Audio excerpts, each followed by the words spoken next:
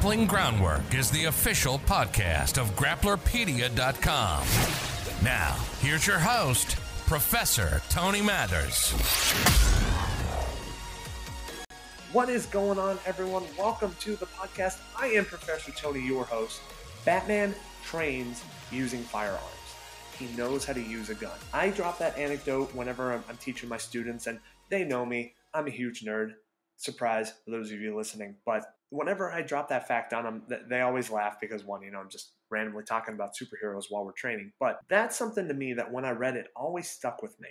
And I've joked before how Batman and Goku are, you know, my dads. The thing with Batman, when he when I read that, he, how he trains with firearms, that just it always stuck with me. Uh, and I really forget what it was, but you know, it was like a flashback in early 2000s, late in, in the 90s, maybe, where he's training Robin, and uh, he's like, "All right, well, you know, today we're gonna like learn how to shoot guns." And Robin was all confused, like, "Why are we doing that? Uh, we don't use guns." And Batman says, "Well." Our enemies use guns. We need to understand the tools that our enemy uses so that way they can't be effectively used against us. Man, that just always stuck with me. Jiu Jitsu is vast you can get lost in the sea of all the different techniques and moves. I mean, clinging to the latest hotness, just sticking to the fundamentals, listening to all the different instructors. It's incredibly easy to become very vanilla and mediocre with your jiu-jitsu. Everyone always says find something you're good at. It takes time, but when you do, it, it can be it could, that's where most people really propel. They find the one thing they're good at, the one pass series, the one technique, or the one concept. Like I'm going to go for the rear naked choke, which means no matter what they're doing, they're figuring out how to take the back, escaping so that way they can expose the back, take the back, and get the rear naked choke, right? That's great. But what people fail to realize and what they need to do is train against all the things that could possibly go wrong. I have my house style. I have the way I teach my students. I've like narrowed down what I think is the better jujitsu. Now we can sit here and talk about it all day, get into arguments, right? But I've helped my students by narrowing the field by saying, like, look, there's hundred submissions.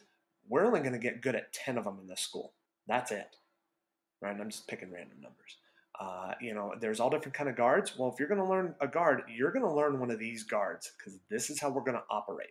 That I think is very freeing and can help people get better and do more with their jujitsu because then they're not splitting their, their focus. They can really lean on other people and you can have a whole series of experts. And I mean, this has been proven with the Danaher Death Squad. They're all great at leg locks. That's what they train, that's what they do.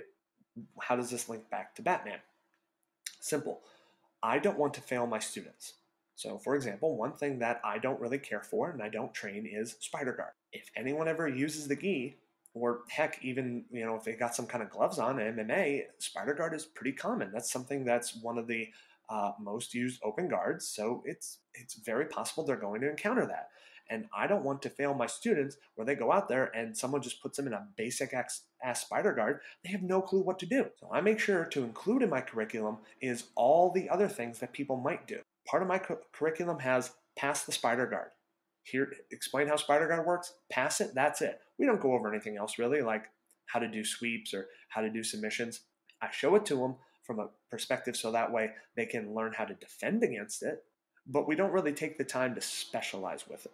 Same thing with rubber guard. That's not something that's all too common but anyone that's under me who gets at, at least a brown belt if not a purple belt they better know how to pass rubber guard. It's something that people can do and i don't want them to be, you know, I'm high level, I do this stuff, and it just takes a simple move to stop them. That's embarrassing for me because I failed my student like that. So I make sure that I take the time to find all the different weapons that people do. It doesn't matter. I mean, like, I include omoplata in my fundamentals, but I never really go into high level omoplata submissions or setups or things like that because to me that's that's that's that's not one of the base moves that I want us to get good at. But you better believe it that we train how to defend against it constantly.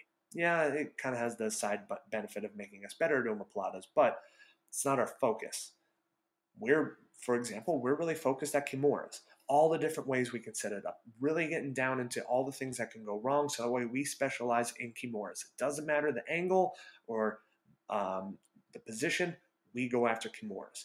So we get really good at that. And obviously, we're really good at defending but that's something that we that we do. So make sure that even if it's something you don't train for, that it's something that you don't really like to do, that isn't part of your game, you better make sure you have an answer for it. You, and you need two answers for everything. So make sure you got two answers for that rubber guard pass. You got two answers for that De La Riva, that spider guard, the closed guard break. Doesn't matter. Doesn't matter what you train, but you better make sure you have the answer for it. Why? Because it's the tools that your opponents use, and you better know it.